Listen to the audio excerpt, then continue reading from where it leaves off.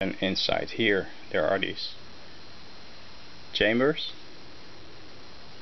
This is a half chamber and these half chambers are connected with eight other chambers. Now let's make the unit.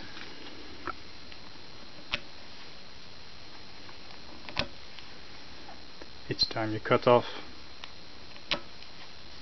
three of these from a tube of hexagons. Put two little tubes together and make a triangle with them like that. And make a tetrahedron formation.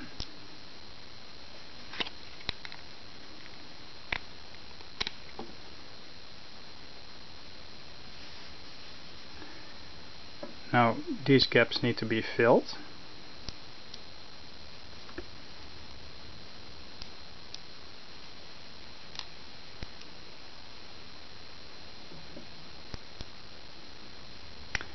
and then generally it's easier to make these triangles after putting two units together.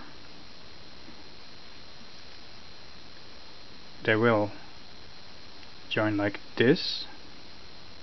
So I'll just show you on one side what to do if you make the triangle immediately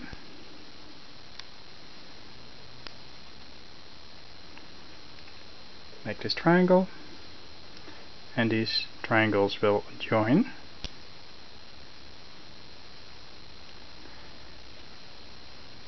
Over here because this is the end face already at the bottom I made single triangles. But that's an exceptional case. Now two of these can join. The only thing is that first here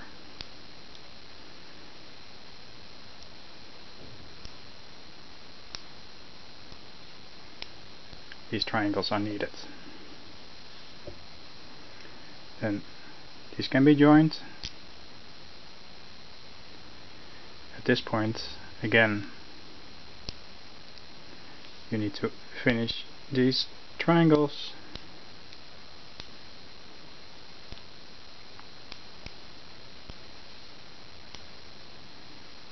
so basically each each time two fresh hexagons meet each other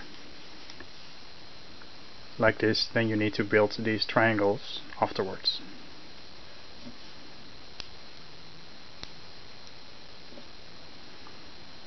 Now there are two ways to make a 2 by 2 by 2 there is this one where you get this sphere in the center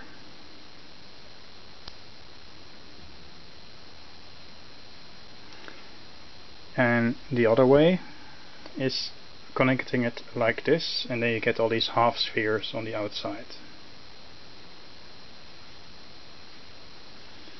Now let's finish this one first.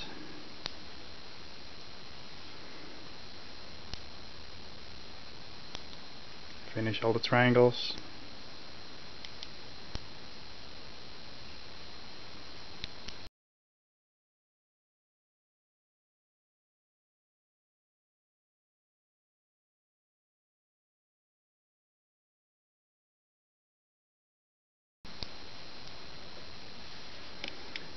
So now we have a 2 by 2 by 2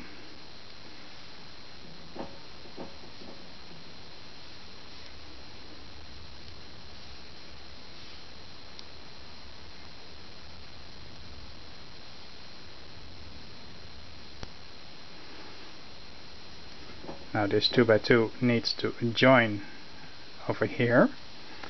Here on, the outside there's a half circle, that's not suitable this is the right way to connect it.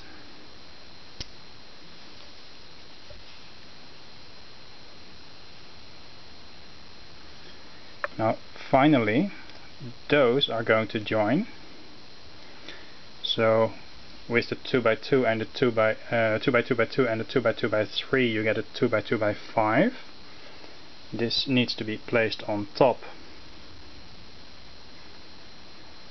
of a 2 by 3 by 5 in order to make a 2 by 5 by 5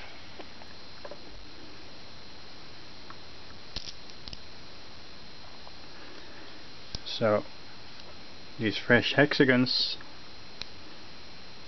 needs those triangles again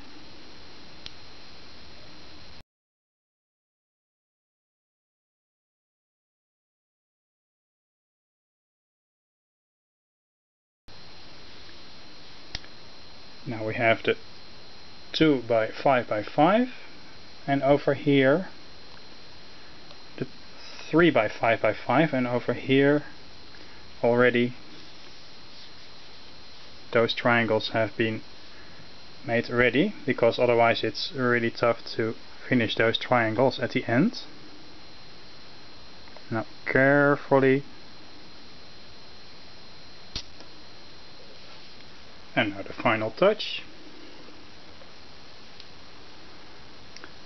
Over here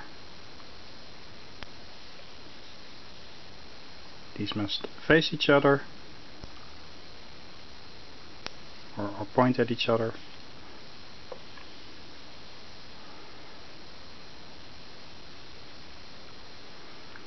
And then over here still there is a fresh connection